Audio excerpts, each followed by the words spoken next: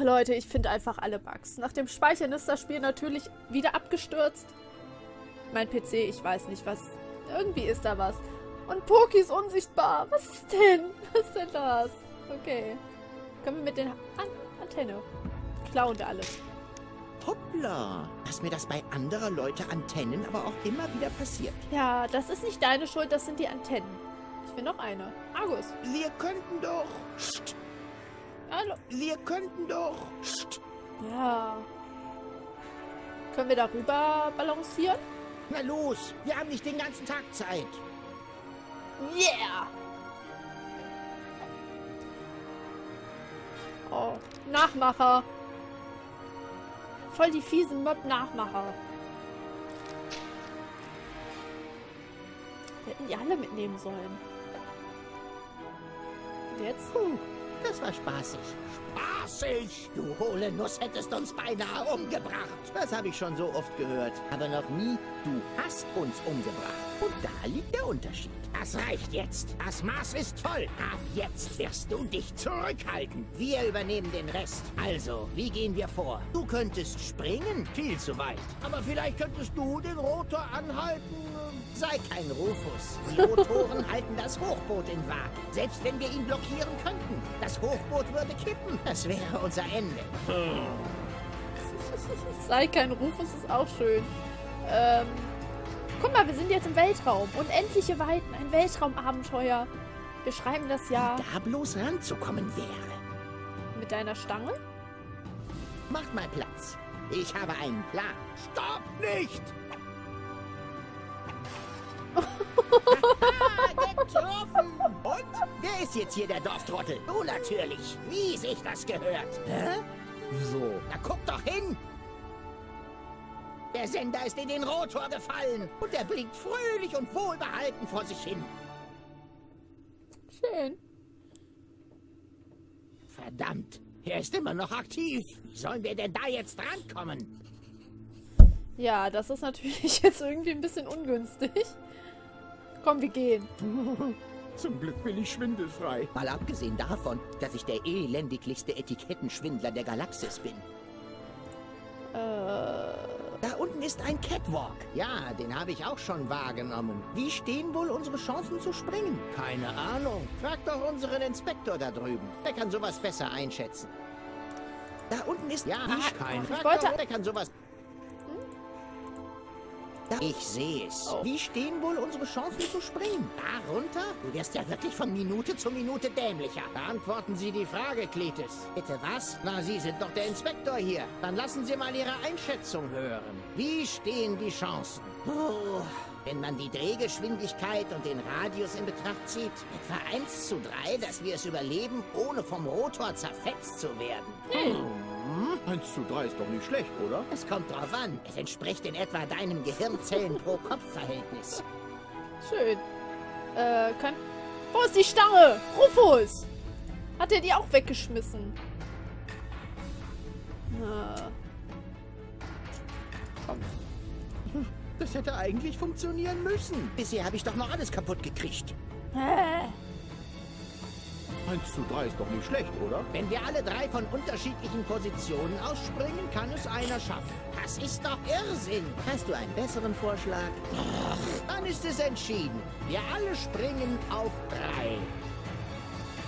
Eins, zwei, Sams Quatsch. Eins, zwei. Was ist los? Springt ihr gar nicht? Du doch auch nicht. Ihr wolltet wohl mogeln. Was? Ich? Oh, Leute.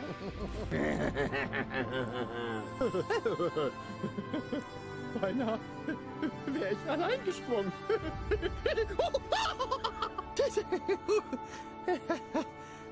Schön. Was? Was machen wir denn 1 jetzt? zu 3 ist doch nicht schlecht, oder? Es kommt drauf an. Es entspricht in etwa... Ja, ja, ja. Kommt.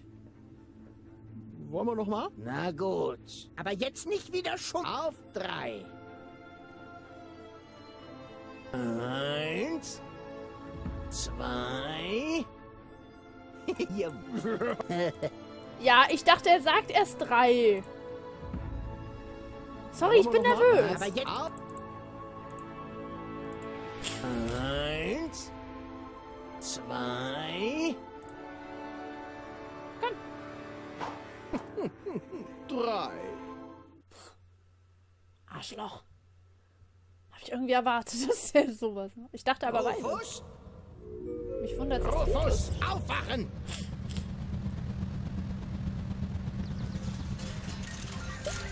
Mich wundert es, dass Klitus gesprungen ist. Aua! Wo ist der? Was? Was ist passiert? Du hast es geschafft. Bravo. Wo ist Klitis? Ich glaube, er hat es nicht geschafft. Ganz sicher bin ich mir nicht. Es ging alles sehr schnell. Naja, siehst du den Sender irgendwo? Ich bin dran. Ähm. Gibt's hier keinen Poki mehr? Doch, da ist der Poki. Langsam schließt sich ja der Kreis und deswegen ist hier äh, eines der letzten Rätsel im Spiel mit Schrauben. Genau, lose Schrauben. Wie am Anfang von Goodbye Deponia, aber tatsächlich haben ja fehlende Schrauben auch äh, direkt am Anfang von Deponia insgesamt eine Rolle gespielt. Und sowas ist natürlich eigentlich ganz hübsch, wenn man die so die kleineren Symbole, die man halt irgendwie so als, als Stützrahmen der Gesamthandlung mitführt, halt auch irgendwann ebenfalls beendet. Man verabschiedet sich von ihnen wie von einem guten Freund. Und in diesem Falle sind es Schrauben. Aber auch ihr seid hiermit mal offiziell verabschiedet. Denn auch ihr seid natürlich gute Freunde, weil ihr zusätzlich zu der ursprünglichen Deponia-Version, die ihr natürlich alle im Regal stehen habt, auch jetzt noch die Complete Journey Edition gekauft habt.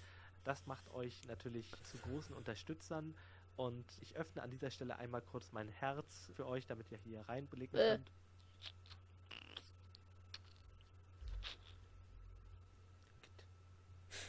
Ich mach's mal lieber wieder zu. Und überlasse das restliche Reden dem äh, Rufus und allen, die ihn auf seinen letzten Schritten vielleicht nach Elysium begleiten. Und ja, viel Spaß damit. Vielen Dank, dass ihr mir zugehört habt, warum auch immer. Ich hoffe, ihr hattet Spaß bis hierhin, weil das hört nämlich hier an dieser Stelle auf. Alles, was jetzt noch kommt, sind nur noch bittere Pillen, die ihr schlucken müsst. Bitte glaubt mir, ich habe mir sehr viele Gedanken darüber gemacht. Und es ist alles genauso richtig, wie es ist. Aber ich kann ja nichts verraten. Deswegen viel Spaß beim Ende. Und ich hoffe, wir hören uns mal wieder bei irgendeinem Entwicklerkommentar. Mir hat es Spaß gemacht, etwas zu erzählen und bestimmt hat es auch einem Prozent von euch Spaß gemacht zuzuhören. Und äh, wahrscheinlich bist du, der das jetzt hört, einer von diesen 1%, weil die anderen werden auch wahrscheinlich die Funktion ausgeschaltet haben. Also, vielen Dank, viel Spaß und kauft auch alle anderen Dedelic-Spiele. Und Schleichwirkung und Dinge und, oh Mann, so schwer loszulassen. Oh, das macht mir jetzt irgendwie ein bisschen Angst, muss ich gestehen. Poki ist wieder da. Das ist doch mal was. Er war vorher Loch. Unsichtbar. Hier war aber jemand sehr sparsam, was den Einsatz von Schrauben angeht. Vielleicht hat er meinen Blog gelesen. Du hast einen Blog, was?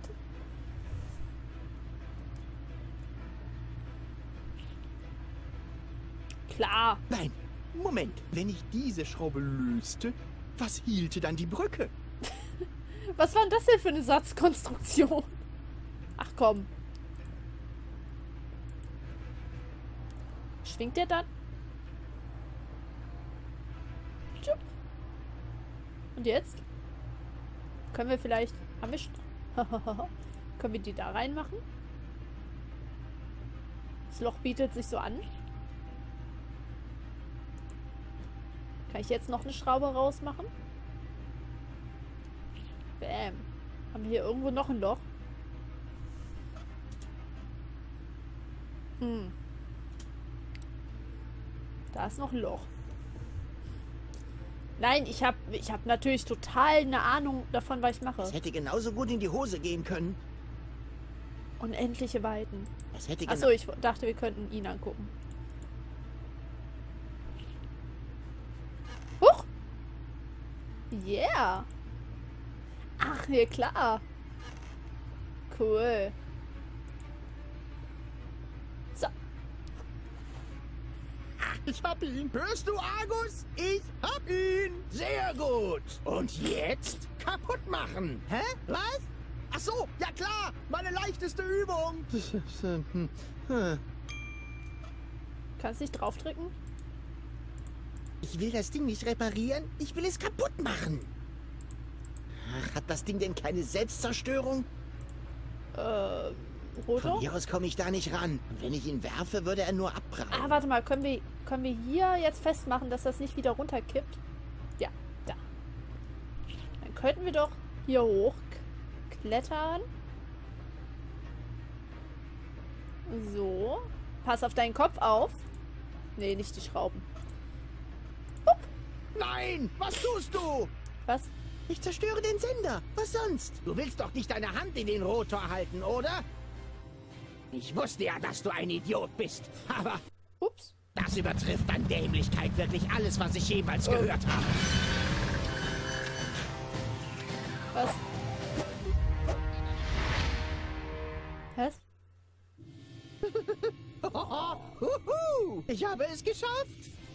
Der Sender ist kaputt. Der Podia ist gerettet. Nein. Ja, ganz große Klasse.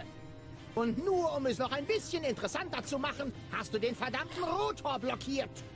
Dann hilf mir hoch, damit wir den Rotor wieder zum Laufen bringen können. Es wäre schön blöd, wenn das Hochboot gerade jetzt auseinanderbräche, wo Elysium ja schon fast in Wurfreichweite ist. Ja, das ist eine Idee. Eine andere wäre, dich da unten verfaulen zu lassen. Das kommt wohl ganz drauf an. Worauf kommt das an? Wie du dich entscheidest. Hilfst du mir bei meinem Putsch gegen den Ältestenrat? Wie bitte? Was ist denn jetzt los? Irgendwas blockiert den Steuerbordrotor. Ist das schlimm? Keine Ahnung, da bist du, Deponia, bereits. Wir werden abstürzen? Aber wir sind doch so gut wie da. Man kann bereits die unteren Schleusen erkennen.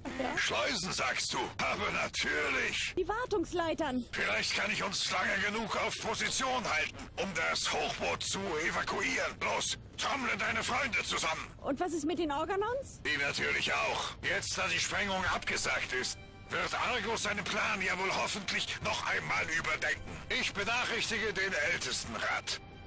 Aber was wird aus dir? Go. Wir haben jetzt keine Zeit für Diskussionen. Geh jetzt. Ich glaub das jetzt nicht. Du hast immer noch vor, mit dem Organon in Elysium einzurücken? Warum denn nicht? Wo sollen wir sonst hin? Das werde ich niemals zulassen. Sieh es doch ein, Rufus. Diese Soldaten da unten sind unsere Brüder. Sie haben dieselben Gene. Wir sind im Grunde identisch. Warum solltest du nach Elysium dürfen und nicht einer von ihnen? Oder zwei oder drei? Wo ist die Grenze? Wer entscheidet das? Du etwa? Nein. Aber na dann, was sagst du? Ähm, Niemals! Tja, schade, aber nicht zu ändern. Ich hatte mir schon gedacht, dass du uneinsichtig sein würdest. Mach's gut, Rufus. was? Tschüss. äh, Nein, nicht doch!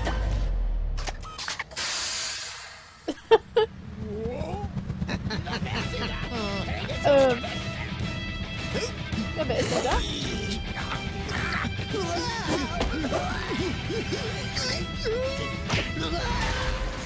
Au. Ähm. Müsste das nicht den Körper zerfetzen? Da seid ihr ja wieder. Oh, das schmerzt. Oh, wie scheußlich ist die Welt. Selbst schuld. Oh, ja, lach du nur. Aber jetzt sitzen wir schon wieder im selben Boot. Ich glaube, ich kann mich befreien. Oh. Um Himmels Willen, der Rotor klemmt nur, weil wir dazwischen stecken. Wenn sich einer bewegt, beginnt er sich wieder zu drehen. Dann sterben wir alle. Aber wenn wir den Rotor weiterhin blockieren, wird das Hochboot abstürzen. Wir sind so oder so tot. Ach, wie sind wir nur in diese bescheuerte Lage geraten? Rufus. Was guckt ihr mich so an? Das habt diesmal ihr verbockt. Wie? Diesmal keinen intelligenten Plan parat? Lasst mich nachdenken. Nö. Nope. Die Lage ist aussichtslos. Wenigstens eine gute Nachricht. Rufus? Cletus! Bowl! Was ist denn hier passiert? Ist doch egal. Du musst uns hier rausholen. Und am besten, bevor das Hochboot abstürzt. Ja, dafür ist es wohl zu spät. Hub sagt, dass die ständigen Ausfälle des Rotors die Maschinen beschädigt haben. Er kann das Hochboot für den Augenblick noch in Position halten, aber die Evakuierung hat begonnen. Es sind jetzt nur noch Minuten. Na, tolle Wurst. Jetzt kommen alle nach Elysium außer mir, oder was? Ja, genau. Hol mich hier raus. Du kannst sowieso nur einen retten, ehe sich der Rotor zu drehen beginnt. Nein, es muss doch eine Möglichkeit geben, euch alle da rauszuholen. Gibt es aber nicht. Komm schon. Triff deine Entscheidung. Wie soll ich mich denn entscheiden? Ich weiß ja nicht einmal, wer wer ist. Ich bin Rufus. Ist doch gelogen. Ich bin Rufus. Die lügen beide wie gedruckt. Ich bin Rufus. Na super. Und jetzt? Kann der echte Rufus das nicht irgendwie beweisen? Natürlich kann er. Äh. Ach, gehen wir mal durch. Ich weiß etwas, was diese beiden Simulanten da unmöglich wissen können. Ach ja? Was denn? Äh.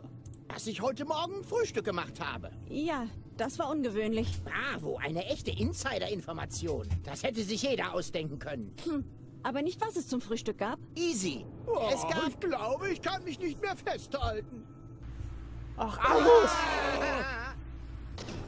Verdammt! Jetzt stehen wir doch wieder am Anfang. Und ich weiß immer noch nicht, wer wer ist.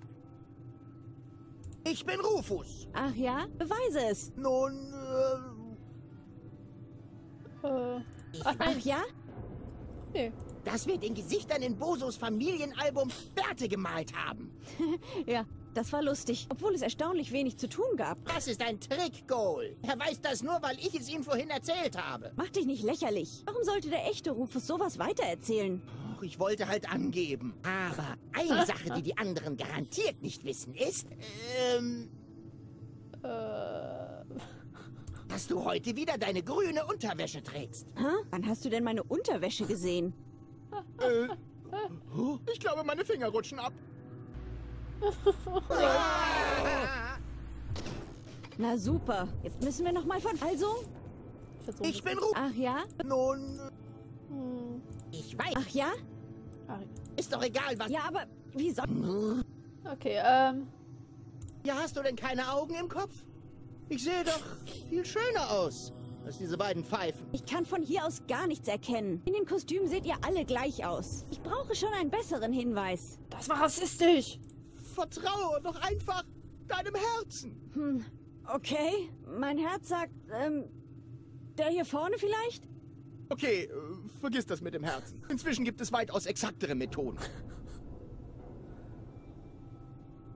Entscheide dich bitte. Uns läuft die Zeit davon. Das Hochboot kann jeden Moment abstürzen. Wenn du mich unter Druck setzt, machst du es dadurch auch nicht besser. Was, wenn ich aus Versehen Argus erwische? Hey, ähm, ich, ich meine, hey, ho, I am the roof. Ja. Ach, Rufus hin, Rufus her, ist doch egal. Lass uns einfach hier und verschwinde. Hauptsache, du überlebst. Ah, jetzt hat er sich verraten. Genau. Der echte Rufus, also ich, würde so etwas nie sagen. Das stimmt. Das klingt wirklich nicht nach Rufus. Kann es sein, dass du dich so geändert hast? Der echte Rufus wird sich nie ändern, das weißt du. Dann ist das vielleicht wieder nur ein Trick, um gut dazustehen. Nein! Ach. Ich bin Klites. Was? Das ist doch die Höhe. Ich bin Klites. Blödsinn, ich bin Klites. Wartet mal. Heißt das von euch dreien ist nur Klites Manns genug, um sich zu erkennen zu geben? Von Argus hatte ich ja nichts anderes erwartet. Aber Rufus? Nach allem, was Na, wir toll. durchgemacht haben, vertraust du mir nicht mal dafür genug? Du hast recht, Goal. Es tut mir leid. Ich bin natürlich Rufus. Der lügt doch. Ich will es nochmal gerade Ich bin. Rufus. Ach ja? Beweise es. Nun. Ach, Hauptsache. Ah, ja, genau. Das Ja. kann es sein. Der echte Dann Nein! Ich weiß, das macht äh, überhaupt keinen Unterschied, aber für mein Gefühl doch. Okay. Es ist wahr. Ich bin nicht Rufus. Der da ist Rufus. Was? Äh, ja klar. Er hat recht. Ich bin Rufus. ist das ein Trick? Ein letztes Manöver? Du weißt, wenn ich ihm helfe, kannst du dich nicht mehr umentscheiden. Du wirst fallen und sterben.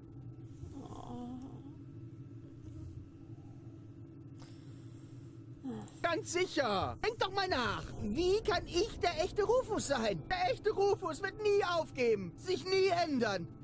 Und niemals! Nein, ich will nicht loslassen. Nein. Und ich will Poki anklicken. Ich will Poki anklicken. Ich will Poki anklicken. Poki. Loslassen. Nein. Stopp! Ah, okay, kein Poki. Nein! Nein. Nein!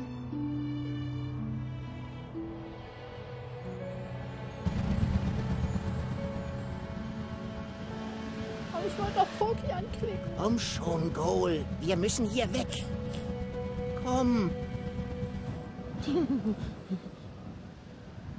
Hallo, Rufus. Oh, Barry, Barry, was machst du hier? Du bist mein Vorbild. Schon vergessen? Und ich folge dir überall hin.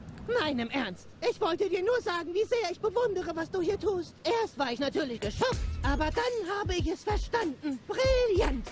Wirklich. Es war im Grunde die einzige Möglichkeit, die du hattest. Ein Geniestreich. Also auch äh, philosophisch gesehen. Jetzt die komplett selbstlose Tat.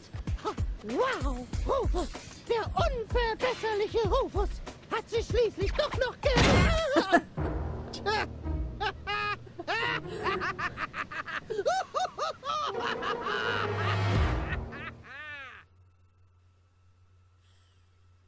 Bist du bereit?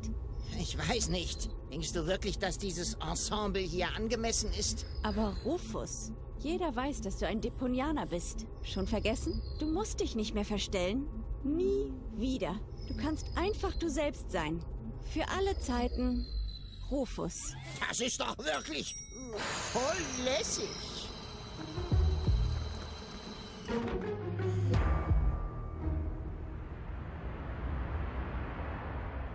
Ah, da sind ja unsere Helden.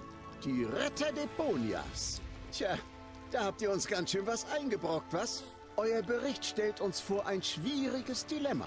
Jetzt, da wir wissen, dass Deponia bewohnt ist, ist unsere Reise nach Utopia natürlich vorerst abgesagt. Aber das Hochboot ist zerstört, das Kabel gekappt. Und mit den ganzen neuen Mitbürgern an Bord werden unsere Ressourcen noch schneller verbraucht als befürchtet. Was wird nun aus Elysium? Müssen wir auf Deponia landen? Sollte es das? Fragen über Fragen. Auf die ich leider auch keine Antwort habe, Eminenz. Aber dieser Deponianer hier ist ein richtiges Genie. Äh, wer? Äh, ich? Wenn ihr ungewöhnliche Ideen braucht, sein Einfallsreichtum kennt keine Grenzen. Nur zu. Jeder Vorschlag ist willkommen. Äh, das Goal. Du schaffst das schon. Nun, äh, man könnte doch Raketen an Elysium anbringen. Red weiter. O oder, oder solche Flugdrachen. Und, und wenn wir einen riesigen Zeppelin mit Monster-Truck-Reifen ausstatten würden. Monster Truck Reifen? Ja, dann könnten wir vielleicht ein paar Adler trainieren, um, äh, äh, Können wir noch mal auf die Flugdrachen zurückkommen? Wie groß müssten die sein? oh, riesig. Mit, mit so großen Zähnen, vor allem, vor allem die Eckzähne, ganz, ganz groß und lang. Und, und sie sollten Feuer speien. Weiß doch was. Ganz sicher.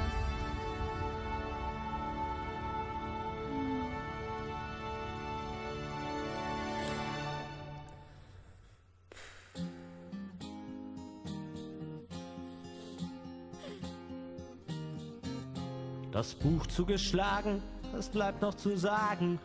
Irgendjemand noch Fragen? Na, dann eben nicht. Doch wenn du dich allein fühlst und du an dir zweifelst, dann habe ich hier einen Vorschlag für dich. Greif zur Mundharmonika, sing von Deponia, von Rufus und Cole und dem Leben im Dreck und vom Umstand, dass man wohl manchmal die Welt nur retten kann, indem man loslässt. Und wenn es so ist, ja, dann bin ich mal weg. Nein.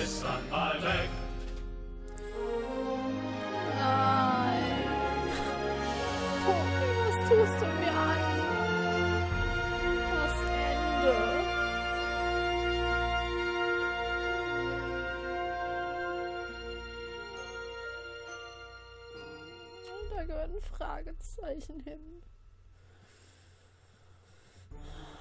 Ja, das war das Ende einer ziemlich langen Reise, da wir ja die, ähm, die Complete Story, die Complete äh, Journey durchgespielt haben. Das Ende einer Reise durch Deponia und ich muss gestehen, ich bin gerade so ein bisschen traurig. Obwohl ich sagen muss, dass von aus plottechnischer Perspektive, von der Charakterentwicklung her, finde ich das Ende genial geschrieben. Also Hut ab vor Poki und den anderen Autoren, Hut ab. Es passt, es passt alle, es ist super stimmig. Ich finde es super stimmig, dass es genau so endet. Aber es ist natürlich unheimlich tragisch, dass ja, Rufus am Ende Depot, äh, Deponia, sage ich, Elysium niemals gesehen hat. Und das, das macht mich dann schon so ein bisschen betroffen. Aber ich glaube, ich würde es Ich fände es unpassend, wenn es anders wäre. Jetzt, es passt. Es ist traurig und ich glaube, viele, oder ich glaube, viele haben sich auch sehr darüber ausgelassen, dass, dies, dass ihnen dieses Ende überhaupt nicht gefallen hat. Aber ich finde es passend. Auch wenn, oh Gott, ich will, ich will nicht, ich will nicht aufhören. Ich will nicht, ich will nicht Tschüss sagen zu Deponia und zu Rufus und Pokis Kommentaren und die ganzen Charaktere und Lotti und... Ah, nee, Lotti war... Lotti war Doris, ne? Nee, nee, ich habe mich gerade selbst verwirrt. Lotti war es hier. Doris war, äh, ja, sorry. Ach man, ich will nicht Tschüss sagen, aber es bleibt uns keine andere Wahl. Manchmal, manchmal muss man loslassen. Naja. Natürlich bleiben wir Deadlick auch weiter treu. Ich weiß nur nicht. Doch, ist auch ein Deadlick-Spiel. Also wir werden auf jeden Fall mit einem Deadlick Point-and-Click-Adventure weitermachen. Ich kann nur noch nicht sagen, wann. Das entscheidet sich, äh, je nachdem, wann ich dazu komme, aufzunehmen. Vielleicht sofort, vielleicht, vielleicht mit ein bisschen, ein paar Tagen Absp äh, Abstand. Das wird sich zeigen. Ich freue mich schon drauf. Ich habe ich habe mehrere Spiele zur Auswahl. Eins wäre auch in, äh, in Special Edition, was ich noch hier stehen habe. Und da, da ich sonst alle Spiele in Special Edition schon Let's Played habe, ist es nicht schwer zu erraten, welches Spiel da noch kommen könnte. You're leaving, you're now leaving Deponia. Ich will nicht now leaving. Aber wir haben keine andere Wahl. Und deswegen verabschiede ich mich an dieser Stelle von euch. Danke, dass ihr mich auf dieser langen, langen Reise begleitet habt. Ein bisschen zerrupft von meinen Bachelorprüfungen, wo ich dann einfach keine Zeit hatte, die Sachen zu planen. Und ähm, freue mich schon, euch in einem neuen Let's Play wiederzusehen. Und bis dahin sage ich an dieser Stelle Tschüss.